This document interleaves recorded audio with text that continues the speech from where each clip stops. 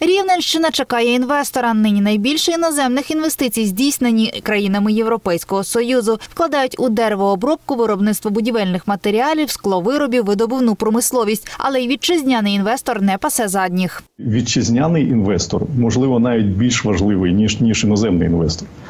Е, Хоча іноземний інвестор він більш ресурсний. Ми розуміємо, що там більш більше можливості, більше досвід, більше можливо ринки, на яких він може працювати.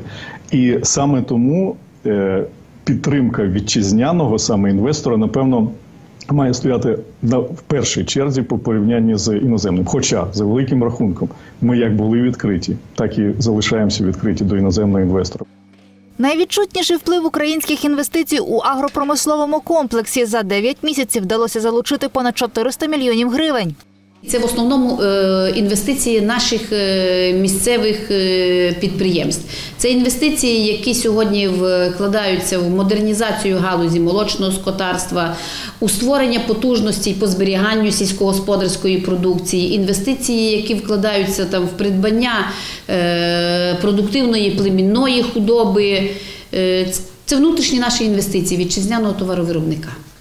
Та в області готові приймати й українських іноземних інвесторів. Для цього створені спеціальні майданчики, що дозволяють розмістити виробничі потужності. В нас е, підготовлені, е, скажімо, площадки, е, greenfield и, понад е, 150 тисяч е, е, 100 150 тисяч гектарів загальна, загальна площа. Також е, типу е, пропозиції типу Brownfield 50 тисяч квадратних метрів. Це незавершене будівництво і об'єкти нерухомості.